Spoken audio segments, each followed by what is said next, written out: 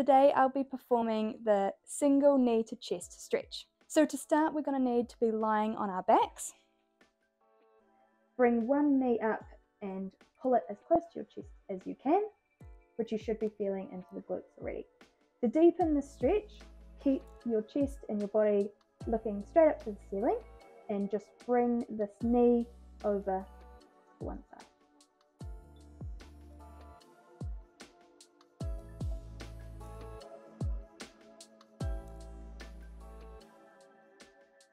So this stretch is particularly good for stretching out through the glutes, low back and hips.